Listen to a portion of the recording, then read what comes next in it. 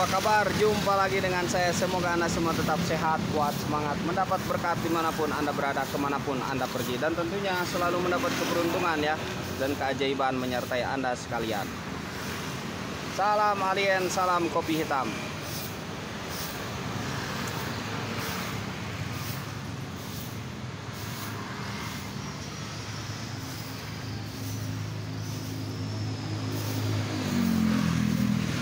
Menunggu matahari terbit. Sekedar menyapa tentang motivasi. Motivasi itu tidak hanya sekedar mengejar materi ya. Jadi motivasi ini bersifat ilmu gaib. Gaib. Arahannya bukan sekedar materi, bukan sekedar untuk mengejar kekayaan bukan untuk sekedar mengejar harta benda. Bukan untuk sekedar mengejar uang. Tetapi justru menambal atau mengarah atau juga bisa menopang atau juga bisa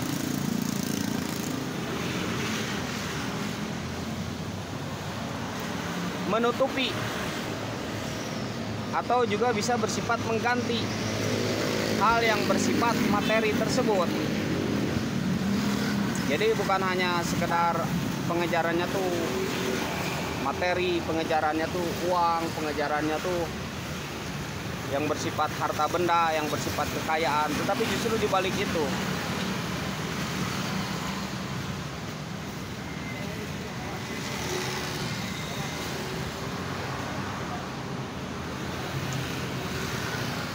ketika kita mengejar materi, ketika kita mengejar harta, ketika kita mengejar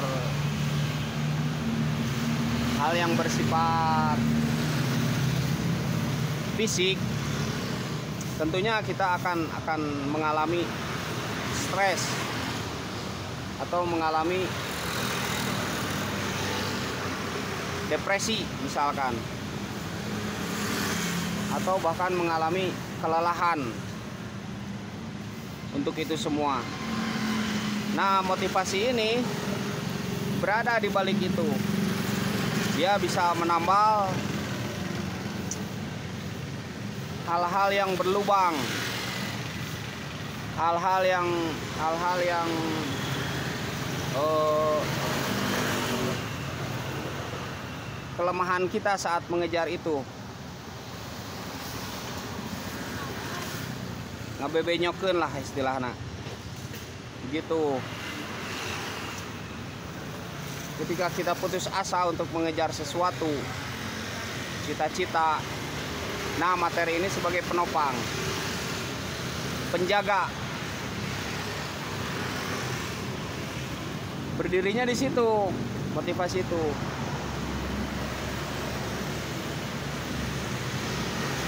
Ketika kita stres tuh mencari pekerjaan. Nah, datanglah motivasi dari situ sehingga kita tidak putus asa bahwa rizki itu bukan hanya dari pekerjaan yang formal tapi rizki itu luas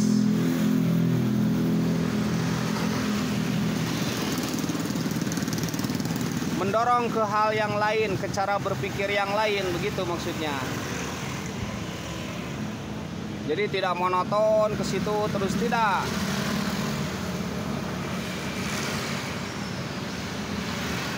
Mendorong kepada hal-hal yang secara umum ya secara umum. Cara berpikir yang lain. Mendorong kepada hal-hal yang uh,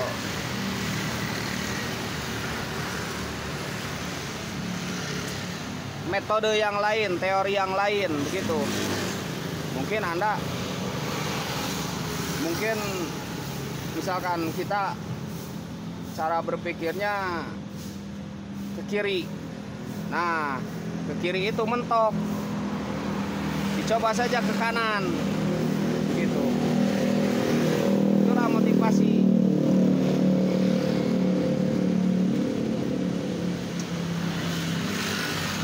Jadi bukan memberi memberi angan-angan, tidak memberi suatu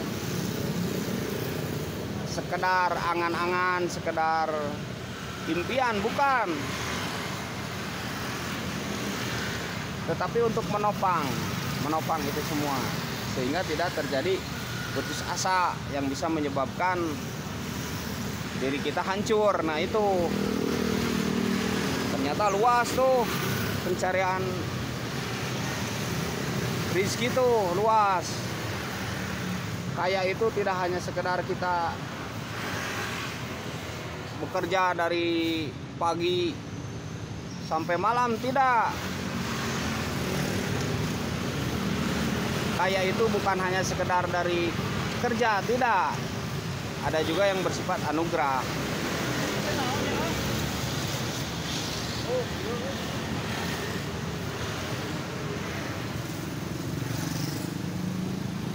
biasa pak dicabut ya tanah nya batang nah, cabut.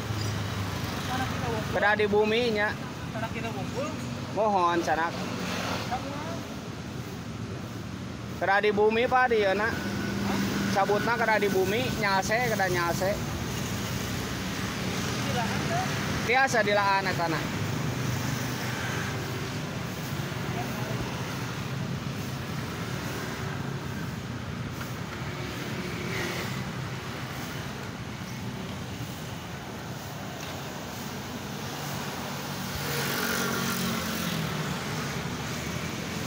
jadi bersifat dorongan spirit.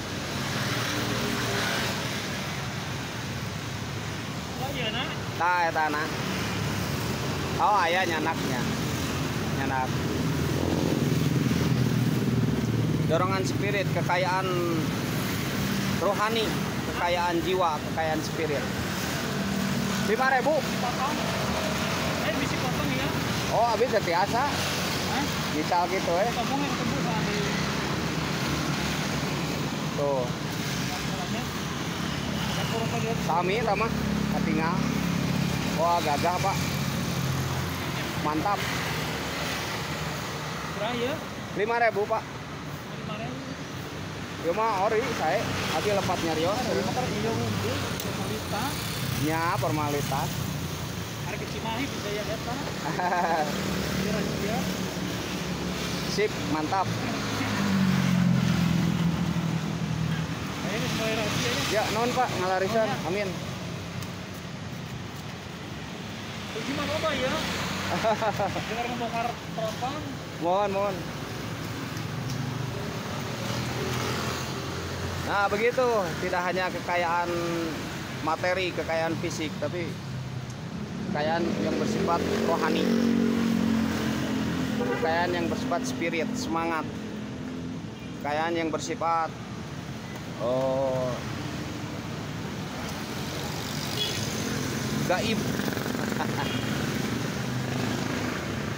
Jadi tidak hanya sekedar arahannya tuh materi, tidak. Buktinya banyak tuh yang bekerja dari siang, dari pagi sampai malam.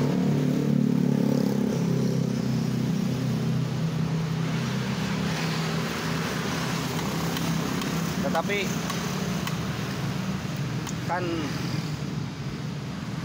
tetap begitu ya. Buktinya banyak tuh orang yang kaya tetapi risau, gelisah, resah. Gitu ya.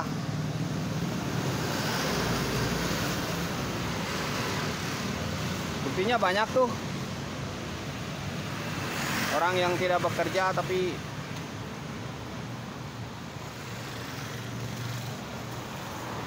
tetap hidup. Tetap semangat. Bahkan mendapatkan kedamaian, kenyamanan. Ya karena saya menyaksikan sendiri begitu. Jadi bukan hanya sekedar bicara,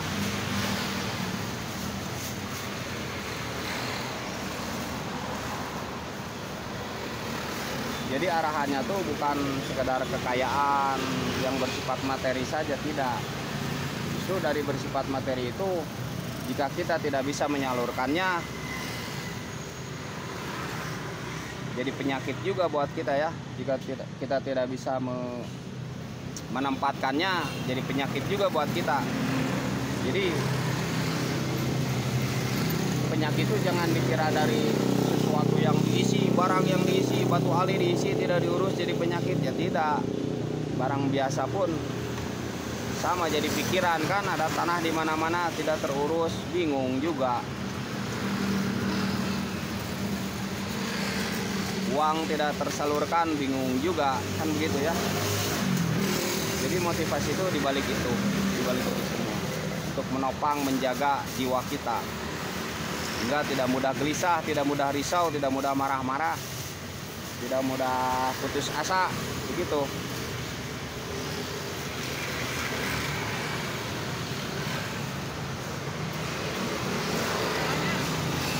siap siap pak. Non pak. Ya begitu ya. Motivasi. Dan memang walaupun bersifat subjektif motivasi itu sifatnya subjektif. Bagaimana kita mencernanya? Bagaimana kita mencernanya kita kan sering saling menyangka ya wah itu enak hidupnya ini enak hidupnya saya tidak enak. Wah itu kurang bersyukur ya. Nah motivasi itu menjaga itu semua. Bagaimana cara kita untuk menikmati hidup? Bagaimana cara kita untuk menjalani hidup?